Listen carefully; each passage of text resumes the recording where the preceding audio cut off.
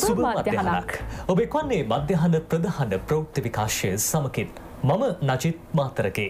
මම සුපුන් භාග්‍යවීරකෝන් අවධානය යොමු කරමු දවස උණුසුම් කළ දවසේ ප්‍රධාන පුවත් සිරස්තල වෙත.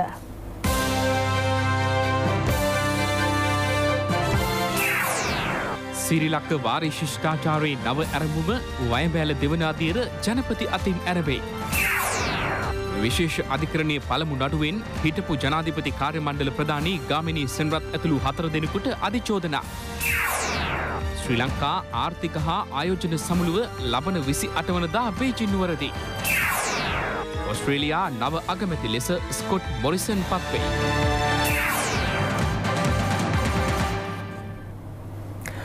සිරිලක වාරී ශිෂ්ඨාචාරයේ නව ඇරඹුමක් සනිටුහන් කරමින් ග්‍රාමිය වැව් දෙදහස් හාරසයක් ප්‍රතිසංස්කරණය කිරීමේ මහා වාරි සත්කාරයේ සමාරම්භය සහ වයඹ ඇල දෙවන අධිරේ කටයුතු ඇරබීම අද සිදුපුණා.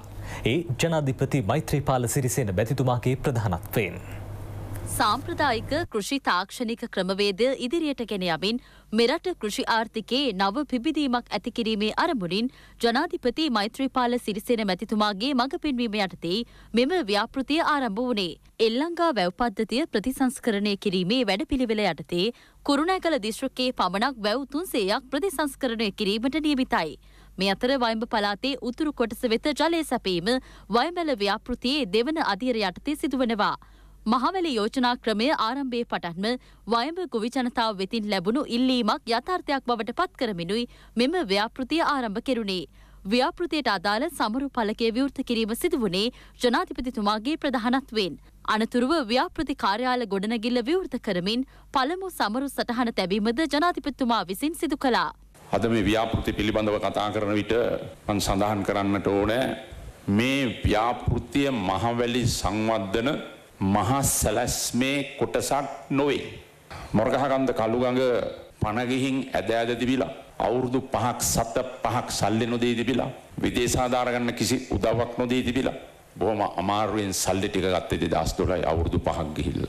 එදා දෙදස් හතේ මුල්ගල් තියල වැඩ ආරම්භ කරපු දවසේ එතන ඉඳම් මේ වැඩේ කරගෙන යන්න තිබුණනම් මොරගහකන්ද කළුගඟ අද වයඹට වතුර දෙන මේ උත්සවේ පවත්වන්නේ අද නෙවේ මිත්‍රවරුන් දෙමව්පියන් දරුවනේ මීට අවුරුදු පහකට ඉස්සර වෙලා දෙදස් දොළහයි. දෙදස් පහලවේ අපි ආණ්ඩුව ගන්නකොට මොරගහකන්ද වතුර පුරුවන්න විතරයිලු තිබුණේ. මේවා හරි හතරහිනා. මං ඒ අයට කියනවා මහවැලි මහ සැලැස්ම අවුරුදු තිහකට එදා සැලසුම් කරපු එක අවුරුදු පහක්කින් කලානං මේ ප්‍රමාද වෙලා තිබුණු මොරගහකන්ද අවුරුදු පහකින් කරන්න පණ ඇද ඇද නැමතිලා තිබ්බේක මම අවුරුදු තුනකින් ඉවර කරන්න සැලසුම් කල්ලයි ගේ අවුරුද්ධ මොරගාකන්ද ජලාශය ජලය නිකුත් කිරුව කියලා. ජනාධිපති මෛත්‍රීපාල සිරිසෙන මැතිතුමාගේ නායකත්වය යටතේ ක්‍රියාත්මක කෙරුණු මොරකහ කන්ද කළුගඟ සංවර්ධන ව්‍යාපෘතියේ අතුරු පලයක් ලෙසින් වයමැල ව්‍යාපෘතිය ක්‍රියාවට නැන්වුණා. වයඹ පලාතේ ගොවි ජනතාවට වසර ගණනාවක කාලයක් පුරා යල මහ දෙකන්නේ කෘෂිකාර්මික කටයුතු සිදු කිරීමට අවශ්‍ය ජලය සැපයීම මෙමගින් සිදුවනවා. එසේම වයඹ ජනතාවගේ පානීය ජල අවශ්‍යතාවද සම්පූර්ණ කිරීමට ඉන් අපේක්ෂිතයි. පිරිසිදු පානීය ජලය නොමැතිකමින් පැතිර යන වකුගඩු රෝගය මැඩ පැවැත්වීමටද ඉන් හැකිවනු ඇති. මහවැලි ජලය අක්කර අඩි එක්ලක්ෂ පන්දහසක් පමණ කුරුණෑකල දිස්ත්‍රික්කයේ ජනතාව වෙත ලබාදීමට මෙමගින් අපේක්ෂිතයි. ව්‍යාපෘතිය සඳහා ඇස්සමේන්තු ගත කර ඇති මුදල රුපියල් මිලියන දහසේ දහසක්. දෙදස් විසිහතර වසරේදී එය නිම කිරීමට අපේක්ෂිතයි. ගොවි පවුල් දහතුන් දහස් පන්සියකට පමණ මෙමගින් සෙත සැලසෙනවා. ප්‍රතිලාබ ලබන මුළු පවුල් සංඛ්‍යාව හතලිස් දහසක් ඉක්මවනවා. ආපදා අවදානම් කළමනාකරණය පිළිබඳ ශ්‍රී ලංකා වෘත්තිය වේදින්ගේ සංගමයේ සමාරම්භක උළෙල ජනාධිපති මෛත්‍රපාල සිරිසෙන මැතිතුමාගේ ප්‍රධානත්වයෙන් ඒ පැවැත්වුණා. ඒ කොළඹ බණ්ඩාරනායක ජාත්‍යන්තර සම්මන්ත්‍රණ ශාලාවේදී. මෙම සංගමය ශ්‍රී ලංකාව තුළ ආපදා බලපෑමින් සුරක්ෂිත වූ සංස්කෘතියක් පෝෂණය කිරීම සඳහා පිහිටවාගත් විවිධ විශේෂේත්‍ර නියෝජනය කරන වෘතිය වේදින්ගේ එකමුතුවක්. මෙම උල්ලේ ප්‍රධාන දේශනය මහාචාර්ය ඩිලන්ති අමරතුංග මහත්මය සිදු කලා. ඒ මහත්මී වෙත ජනාධිපතිතුමා සමරු තිලිනයක්ද පිළිගැන්නෝවා. ආපදා අවදානම් කළමනාකරණය පිළිබඳ ශ්‍රී ලංකා වෘතියවේදීන්ගේ සංගමේ ලේකම් එන්.ඒ. සිසිර කුමාර මහතා ජනාධිපතිතුමා වෙත සමරු තිලිනයක් පිළිගැන්වූවා. රාජ්‍ය අමාත්‍ය පාලිත රංගේ බණ්ඩාර මහතාද මෙහිදී අදහස් දැක්වූවා. ආපදාවලට මුහුණ දෙමින් රටේ ජනතාවට සිදුවීමට ගිය ආපදා වලක්වා ගැනීමට පාලනය කර ගැනීමට හැකියාවක් ලැබුණා. ඒ හැකියාවක් ලැබිච්ච සියලුම වෘතිකයන් අද ඒක රාශීව එක වහලක් යටට එකතු වෙලා වැඩ කටයුතු කරන තැනකට ඇවිල්ලා තියෙනවා. ආපද අවස්ථාවලදී අපි තැනින් තැන ඉඳගෙන නෙවෙයි එක තැනක ඉඳගෙන එක වහලක් යට ඉඳගෙන වැඩ කටයුතු කිරීම තුළ අපට කඩිනමින් ජනතා සේවය සැපයීමටත් ඒ වගේම ආපදාවෙන් සිදුවෙන හානිය වලක්වා ගැනීමටත් හැකියාව ඇති වෙනවා. දෙදහස් දහට ශ්‍රී ලංකා ආර්ථික හා ආයෝජන සමුළුව ලබන මස දහට වනතා චීනයේ බේජිං නුවරතේ ආරම්භ වනවා. මේ පිළිබඳ මාධ්‍ය දැනුවත් කිරීමක් කොළඹදී පැවැත්වුණා. එහිදී අදහස් දැකූ ශ්‍රී ලංකා ආර්ථික හා ආයෝජන සමුළුවේ සංවිධායක කමිටු සභහපති ආචාර්ය පාලිත කොහොඩ මහතා. සයික් දෙදස් දහ අටේ ප්‍රධාන පරමාර්ථය වන්නේ චීනයෙන් පිරිතයට යන ආයෝජන වලින් හැකි පමණ ප්‍රමාණයක් අපගේ ආර්ථිකයටත් සම්බන්ධ කර ගැනීමටයි. ලංකාවට දැන් ආයෝජන අත්‍යවශ්‍ය වන අවස්ථාවක් විදාවී තිබෙනවා. අපගේ ආර්ථිකය ඉදිරියට ගෙන යන්නටම අපට විදේශ ආයෝජන අවශ්‍යමයි. ඒ සමගම අපගේ නිෂ්පාදකීන්ට වෙළඳ පොළොවල් අවශ්‍යයි. එම නිසා මෙම වෙළඳ පොලේ දොරටුව අපගේ නිෂ්පාදකයන්ට අපගේ ව්‍යාරිපිකයන්ට විවෘත කර දීමයි අපගේ බලාපොරොත්තුව. සම්මන්ත්‍රණය ආයෝජකයන් අසූකට පමණයි සීම කර තිබෙන්නේ. දැනටමත් ආයෝජක වෙළඳ ව්‍යාපාර බොහොමයකින්ම මේ ගැන උනන්දුවක් දක්වා තිබෙනවා. එම නිසා අප ඉල්වා සිටිනවා මේට සහභාගි වන්නට කැමති සියලු දෙනාම හැකි ඉක්මනින් ඔවුන්ගේ අභිප්‍රාය අපට දක්වන්නට කියා. පළත් සභා සීමා නිර්ණ කමිටු සභා වාර්තාව පිළිබඳ පාර්ලිමේන්තු විවාදය දැන් පැවැත්වෙනවා. පාර්ලිමේන්තුවේ වැඩිදුර තොරතුරු ඕෂධ මහේෂ්ගෙන්. පළත් සභා පළාත් පාලන හා ක්‍රීඩා අමාත්‍යතුමා විසින් පළාත් සභා මැතිවරණ කොට්ටාශ සීමා නිර්ණය කිරීමේ කමිටු වාර්තාව විවාදයට ගන්නා. මුලින්ම විවාදය සඳහා එක් වූයේ අමාත්‍ය ෆයිසල් මුස්තාෆා මහතා. වාචික පිළිතුරු අපේක්ෂා කරන ප්‍රශ්න වටේදී පාර්ලිමේන්තු මන්ත්‍රී රංජිත් සොයිසා මහතා නැගූ ප්‍රශ්නයකට පිළිතුරු ලබා දෙමින් අධිකරණ හා බන්ධනාගාර ප්‍රතිසංස්කරණ නියෝජ්‍ය අමාත්‍ය සාරථී දුෂ්මන්ත මහතා ප්‍රකාශ කර සිටියේ දෙවයිනේ සෑම පොලිස් කොට්ටාශයකටම නීතිඥ සහාය ලබා දීම සඳහා නීති අංශයක් පිහිටුවීමට බලාපොරොත්තු වන බවයි. ඉන්පසු නැගී සිටි පාර්ලිමේන්තු මන්ත්‍රී බන්දුරු ගුණවර්ධන මහතා කනිජ සම්පත් සංවර්ධන අමාත්‍යතුමාගෙන් අසා සිටියේ කනිජ සංස්ථාව පෞද්ගලීකරණය කිරීමේ සැලැස්මක් තිබේද යන්නයි. ඒ සඳහා පිළිතුරු ලබා දුන් අමාත්‍ය අර්ජුන රණතුංග මහතා ප්‍රකාශ කර සිටියේ කනිජ සංස්ථාව කිසිදු ලෙසක පෞද්ගලීකරණය කරන්නේ නැති බවත් ඒ කිරීමට ඉඩ දෙන්නේ නැති බවත් ප්‍රකාශ කර සිටියා. මම ඖෂධ ප්‍රියංක ශ්‍රී ජයවර්ධනපුර පාර්ලිමේන්තු සංකීර්ණයේ සිට. ස්තුතියි ඖෂධ තොරතුරු ගෙනාවට. ජනතා විමුක්ති පෙරමුණ සංවිධාන කළ ජනහමුවක් කළුතර විලේකොඩ ප්‍රදේශයේදී පැවැත්වුණා. පාර්ලිමේන්තු මන්ත්‍රී නලින්ද ජයතිස්ස මහතා මෙසේ අදහස් පළ කළා. දැන් ඔන්න දීලා තිබෙනවා මහින්ද රාජපක්ෂ මහත්තයාට ආය ජනාධිපතිවරණයට ඉල්ලන්න පුළුවන් කියලා. දැන් මේක තමයි දැන් තව ටික දවසක් ඇදෙන්න නියමිත මාතෘකාව. දැන් අර විපක්ෂ නායක වැඩේ ඉවරයි ඈ. ඒකේ වැඩේ ඉවරයි. ඒකාබද්ධ විපක්ෂ අතුලින් ඉන්න සමහර අය පහුගිය දවස්වල මේ ජනාධිපතිවරයෙක් එයිද නැද්ද කියලා දන්නේ නැති වුණාට ගෝඨාභය රාජපක්ෂ මහත්තයා ඉස්සර කරගෙන ගියා ගමනක් යන්න. කරගහගෙන ගියා ගෝඨාභය රාජපක්ෂගේ දෝලාව. විමල් වීරවංශයි උදේ ගම්මන් පිලයි මහින්දානන්ද අලුත්ගමගේ දල සලහ පෙරුම. ඔය හතර දෙනා තමයි ගෝඨාභය දෝලාව කරගහගෙන ගියේ පහුගිය දවස්වල. දැන් අපිට අහන්න තියෙන එක ප්‍රශ්නයයි මහින්ද රාජපක්ෂ මහත්තයාට ආය ජනාධිපතිවරණයට ඉල්ලන්න පුළුවන්කම තිබේ නම් ඇයි මේ කට්ටිය ගෝඨාභය රාජපක්ෂව කරතියාගෙන ගියේ? වත්මන් රජය ත්‍රිවිධ හමුදාවේ ගෞරවය ආරක්ෂාවන පරිදි සෑම විටම කටයුතු කරන බව අමාත්‍ය රාජ්‍ය අමාත්‍ය රුවන් විජයවර්ධන මහතා පවසනවා. හමුදාපත්තුමා ඇතුළු හමුදාව නිල්ධාරින් උතුර ප්‍රදේශයට අවශ්‍ය වෙන විදිහට ඒ ආරක්ෂා කටයුතු කරගෙන යනවා. ඒවාගේම පෞද්ගලික ඉඩම් ප්‍රදේශයේ ජනතාවට ආපෝ ලබා දෙන්නට ඒ වැඩ කටයුතු මගේ තැන දැන් අපස තුනත් තිස්සේ අපි කරගෙන යනවා.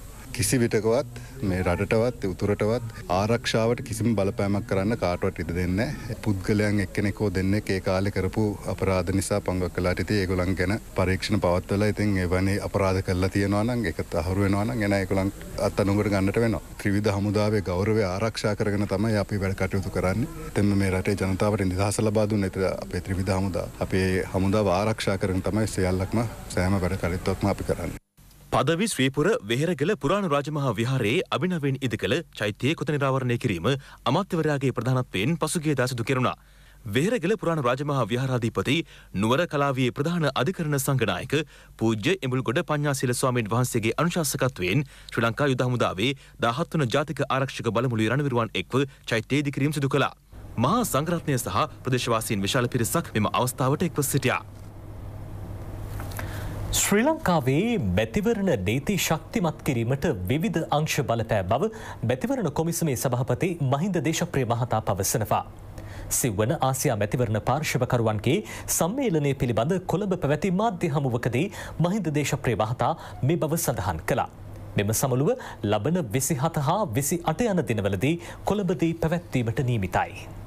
ලංකාවේ මැතිවරණ නීති වැඩි දියුණු වෙලා තින්නේ පාර්ලිමේන්තු හදපු නීති ශ්‍රේෂ්ඨාධිකරණය දීපු නැත්තං අභ්‍යාචන අධිකරණය දීපු තීන්දුවලනු. මාධ්‍ය නිරීක්ෂණ සංවිධාන දේශපාලන පක්ෂ රජයේ නිලධාරී පොලිස් දෙපාර්තමේන්තුව ආරක්ෂක මුදා සහ මා ජනතාව හැමෝම නිදහසා සාධාරණ චන්ද විමසීමක් පැවැත්වීමේ කොටස්කරු. අපේ හැමතිස්සම කියන ප්‍රකාශය තමයි. ප්‍රජාචන්ත්‍රවාදී රටක පාලන බලයේ පදනම ජනතාවගේ කැමැත්ත විය යුතුය. එම කැමැත්ත නිසි කාලාන්තරයන්නේ පැවැත්වෙන අව්‍යාජ්‍ය චන්ද විමසීම් වලින් ප්‍රකාශ විය යුතුය.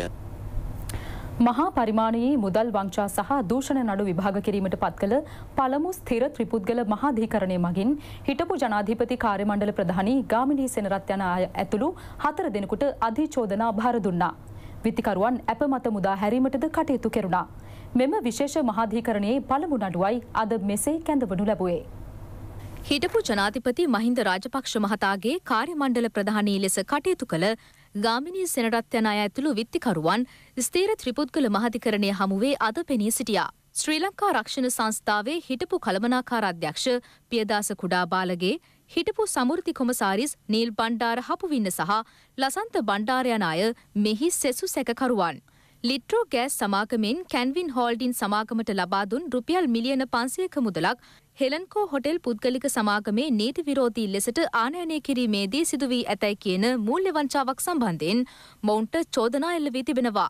පොදු දේපල පනත මුදල් විශුද්ධිකරණය වැලැක්වීමේ පනත සහ දණ්ඩනීති සංග්‍රහය යටතේ නීතිපතිවරයා මොවුන්ට අධිචෝදනා ගොුණු කර තිබෙනවා. දෙදහස් දාහතර වසරේ පෙබරවාරි මස පලවනදා සිට දෙදහස් පහළ වසරේ ජනවාරි මස විසිවනදා අතර කාලය තුළ විත්තිකරුවන් මෙම අපරාධ සිදුකර ඇති බවට නීතිපතිවරයා චෝදනා කර සිටිනවා. ඒ අනුව අද අධිකරණයට ඉදිරිපත් කෙරනු විත්තිකරුවන්ට වෙන්වෙන්ව රුපියල් ලක්ෂය බැගින් මුදල් ලැප සහ රුපියල් ලක්ෂ දහයක ශරීර ඇප දෙක බැගින් නියම කෙරුණා. විත්තිකරුවන්ගේ විදේශ ගමන් තහනම් කිරීමටද නියම කලා. විනිසුරුවරුන් තවදුරටත් නියෝග කළේ විත්තිකරුවන්ගේ ඇගිලි සලකුණු ලබාගන්නා ලෙසයි.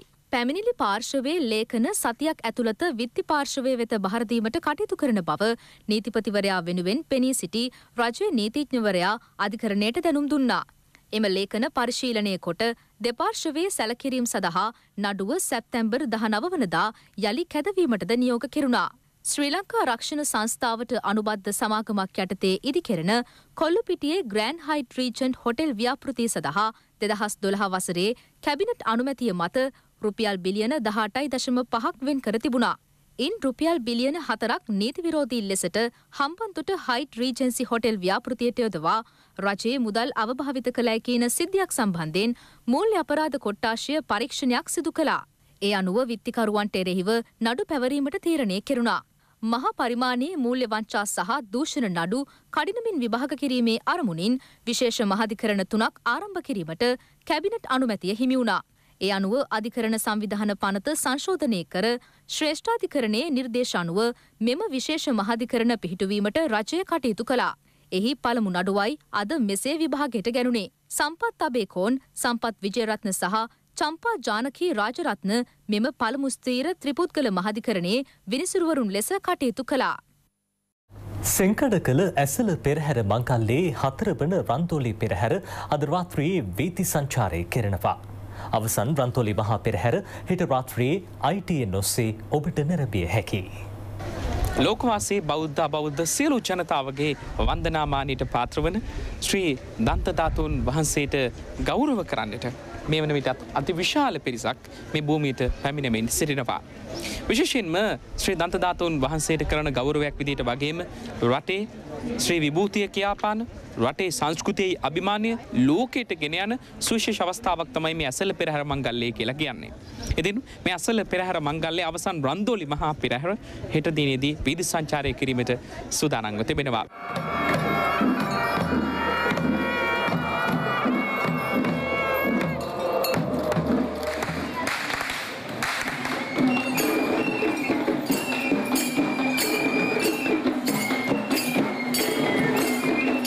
නාත විශ්ණු කතරගම සහ පත්තිනි යන සිව් මහා දේවාල පෙරහැර සමගින් ඇසල පෙරහැර තුන්වන දිනයට ඊයේ වීදි සංචාරය කළා.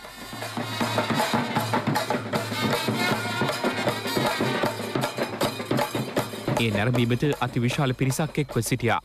අලියතුන් සීයක් සහ ශිල්පින් එක්දහස් පන්සීකට වැඩි පිරිසක් පෙරහැර සඳහා එක්ව සිටිනවා.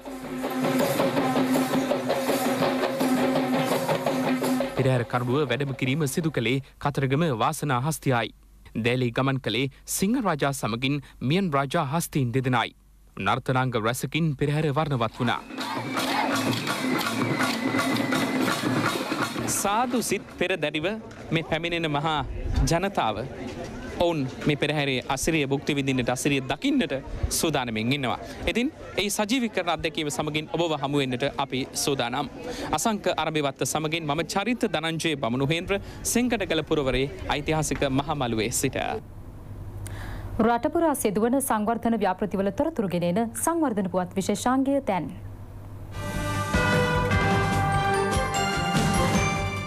රුපියල් ලක්ෂ හාරසි අසුවක වියදමින් ලුණුවිල කිරිමැට යාන ජෙරාඩ් මාවතේ සංවර්ධන කටයුතු මේ දිනවල සිදු කරමින් පවතිනවා. මාර්ග සංවර්ධන අධිකාරියයි එම කටයුතු සිදු කරන්නේ. මෙහි වැඩ මාස හයකින් අවසන් කිරීම අපේක්ෂාවයි.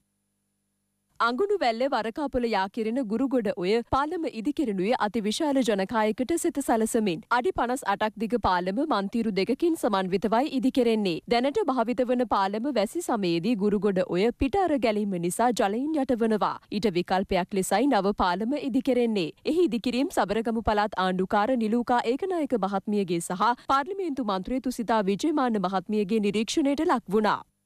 රුපියල් ලක්ෂ දෙසියක වියදමින් නිදි කළ කළුතර ඇලේගොඩ පාලම ජනතා අයිතියට පත් කෙරුණා. වසර ගණනාවක සිට මෙහි තිබූ පාලම අබලන්ව පැවතීමෙන් ජනතාව දැඩි දුෂ්කරතාවන්ට පත්ව සිටියා. ගම්මාන හයකට අධික ජනතාවකට සිත සලසමින් ඉදිකෙරුණු නව පාලම ජනතා අයිතියට පත් කෙරුණේ පළත් සභා මන්ත්‍රී ජගත් විතාන මහතාගේ ප්‍රධානත්වයෙන්. අදත් අපිට ගම්පෙරලිය ඇත්තේ මිලියන දෙසීය ඊට අමතරව තවත් මිලියන විශ්සක් ආසනයකට ලක්ෂ පන්දහකට වඩා වැඩි මුදලක් වෙන් වෙනවා. අපි කරපු වෙනසේ ප්‍රතිඵලය දැන් තමයි පටන් කරන්තින් අපි පහුගිය කාලෙම අවුරුදු තුනත් තිස්සේ අපිට වැඩ කරන්න බැරුණ අපි ලොකු නායකන්ද කිරවෙලා හිටිය නායකන්ද ගෙවනවා. ජනතාව ඒක තමයි බලාපොරොත්තු වෙන්නේ. අපි මේ දේ දෙනවා ජනතාවට. සෙලතිවිච්ච පාලම අබලම් වෙලා තිබුණේ. ඒ පාලම ඇවිල්ලා හතලා දුන්න එකට රජයටත් අපි ස්ථීතවන්ත වෙන්න ඕනේ. අපේ ප්‍රදේශයේ ජනතාවට විශාල අඩුපාඩුවක් කළ දීච්ච දීර්ඝ කාලයක් මුළුල්ලේ අබලම් වෙලා දීච්ච මේ පාලම ලක්ෂ 200ක් වගේ විශාල මුදලක් වැය කළා නැවත තිබුණට වඩා ඉතාමත් විශිෂ්ට අන්දමින් නැවත ප්‍රතිනිර්මාණය කරලා අද ජනතා අයිතියට පවරන දවස මේ පිළිබඳව යහපාලන ආණ්ඩුවට ගෞරවනීය ස්තුති ප්‍රදාන ජාතීන් අතර සාමය සහ සහයෝගිතාව ඇතිකිරීමේ අරමුණෙන් ක්‍රියාත්මක අහන්න වැඩසටහනේ තවත් අදීරක් බෙලියත්ත ප්‍රදේශයේදී පැවැත්වුණා. මුදල් හා ජනමාධ්‍ය අමාත්‍යංශයේ සංහිධයක් කාර්යාලයේ රජයේ ප්‍රවෘත්ති දෙපාර්තමේන්තුව ජාතික තරුණ සේවා සභාව සහ සිවිල් සංවිධාන කීපයක් එක්ව අහන්න වැඩසටහන සංවිධාන කරනවා. ජාතීන් හා ආගම් අතර ඇතිවිය යුතු එකමුතුකමේ අගේ පිළිබඳ දැනුවත් කිරීම මෙම වැඩසටහනේ අරමුණයි. ඒ වෙනුවෙන් විදිනාට්‍ය හා දේශන පැවැත්වෙනවා.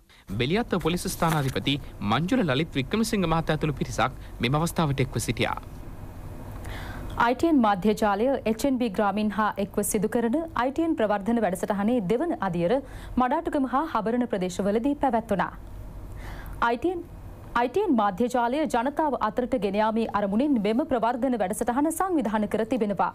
HNB ග්‍රාමීන් බැංකුවේ දඹුල්ල ශාඛාව විවෘත කිරීම වෙනුවෙන් ජනතාව දැනුවත් කිරීමක්ද මෙහිදී සිදු කෙරුණා. ITN රූපවාහිනියේ විකාශය වන කෝපි කඩේ ටෙලිනාටයේ ශිල්පීන්ගේ සහභාගිත්වයෙන් සජීවී සංගීත ප්‍රසංගයක්ද පැවැත්වුණා. නරමන්නන් සඳහා තරඟ රැසක් සංවිධාන කර තිබුණා. ප්‍රදේශවාසීන් විශාල පිරිසක් ඊට එක්ව සිටියා. දැන් ප්‍රෞත්ති කිහිපයක් කෙටියෙන් බලාපොරොත්තු වන්න. සමස්ත ලංකා සංස්කෘතික එකමුතු පදනමේ හතරවන සංවත්සරය පසුගිදා කොළඹදී පැවැත්වුණා. සංස්කෘතික එකමුතු පදනමේ සාමාජිකින් දස දෙනෙකුට ගෞරව නාම ප්‍රදානය කිරීමක්ද එහිදී සිදු කෙරුණා. ඒ සංස්කෘතික කටයුතු අධ්‍යක්ෂ ජනරාල් අනුෂා ගෝකුල මහත්මයගේ ප්‍රධානත්වයෙනුයි. සමස්ත ලංකා සංස්කෘතික එකමුතු පදනමේ සභාපති ආචාර්ය කුෂාන් ජයමින්ද සිල්වා මහතා ඇතුළු දිස්ත්‍රික් නියෝජිතින් මේ සඳහා සහභාගී වුණා. ජාතික භික්ෂු පෙරමුණ සංවිධාන කරන පූජ්‍ය කොඩාපුල හිමි ආදර්ශය සමරු සම්මන්ත්‍රණය පිළිබඳ දැනුවත් කිරීමේ මාධ්‍යමුවක් කොළඹදී පැවැත්වුණා. සම්මන්ත්‍රණය ලබන විසි අටවනිදා බම්බලපිටිය තුම්මුල්ල ශ්‍රී සම්බුද්ධත්ව ජයන්ති මන්දිරයේදී පැවැත්වීමට නිමිතයි. පරාධීනත්වයට එරෙහිව දේශයට මග කියනමයින් සම්මන්ත්‍රණය සංවිධාන කරනවා. සනස විශ්වවිද්‍යාලයේ සංවිධාන කරන ජාත්‍යන්තර පර්යේෂණ සමුළුව ඊයේ ආරම්භ කෙරුණා. ඒ කෑගල්ල පරණගම්මන සනස විශ්වවිද්‍යාල ශ්‍රවණාගාරයේදී. සමුළුවට සමගාමීව සනස 40 වන සංවත්සර සැමරුවද මෙහිදී පැවැත්වුණා. සනස විශ්වවිද්‍යාලයේ කුලපති මහාචාර්ය WD ලක්ෂ්මන් මහතා ඇතුළු පිරිසක් එම අවස්ථාවට එක්ව සිටියා. ජාතික සමාජ සංවර්ධන ආයතනය සංවිධාන කරන ශාස්ත්‍රීය ප්‍රකාශන පිළිබඳ විද්වත් කතිකාව පසුගේතා කොළඹදී පැවැත්වුණා. ඒ අමාත්‍ය පී හැරිසන් මහතාගේ ප්‍රධානත්වයෙන් ශාස්ත්‍රීය ප්‍රකාශන පිළිගැන්වීම හා සම්මාන ප්‍රදානයද මෙහිදී සිදු කෙරුණා. විද්වතුන් ඇතුළු විශාල පිරිසක් මෙම අවස්ථාවට සහභාගී වුණා. විදෙස් තොරතුරු සමගින් අපගේ මධ්‍යහන ප්‍රධාන ප්‍රවෘත්ති විකාශය අවසන් වනවා. පසරු දෙකට පැන් පැපුවත් විකාශය සමගින් ජලිමුණ ගැසෙමෝ. සුබදවසක්. www.ipnnews.lk.